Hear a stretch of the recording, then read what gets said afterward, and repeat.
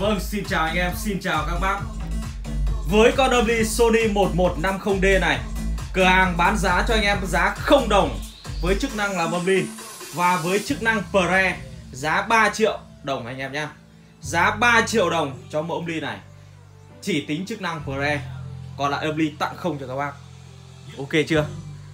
Tại sao cửa hàng nói với các bác điều đó? Bởi vì tôi rất muốn nhấn mạnh tính năng làm pre, làm dề của sản phẩm này đến các bác. Các bác mua một, các bác sẽ được hai. Quá ổn luôn. Đó. Mua một được hai.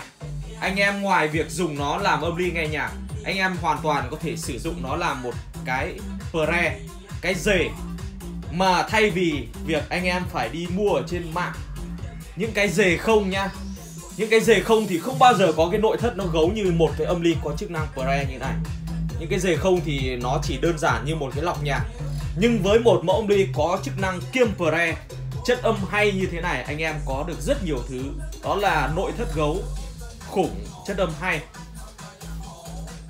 Nhấn mạnh với các bác, đó là chức năng pre.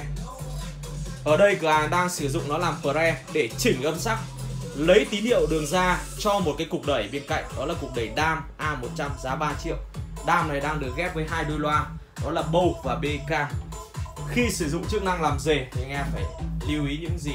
Đó. Chức năng làm âm ly cửa hàng sẽ test ở đoạn sau của video. Các bác không theo dõi nhá.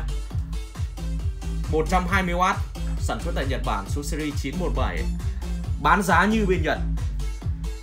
Khi sử dụng chức năng làm rề anh em sẽ gạt xuống cái nút spec rate này.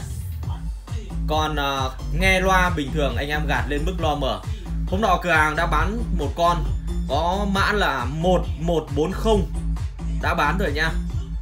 Thì con đấy nó gạt sang ngang nhưng con này gạt lên trên, bởi vì mã nó khác. Là con này là 8 sò than. Cửa hàng cũng đang đấu sẵn dây loa để các bác có thể test nghe luôn chức năng làm âm ly. Thì sau, khi làm rề thì các bác vẫn phải cắm đường vào tín hiệu là AUX như thế này. Và được xuất âm thanh ra preamp và lưu ý, phải gạt cái này xuống. Và khi nào chạy loa trực tiếp thì các bác gạt lên. Đấy là cái lưu ý. Còn bây giờ, về cách chỉnh. Đại cái nắp vào để anh em sẽ cảm nhận tổng thể nhá.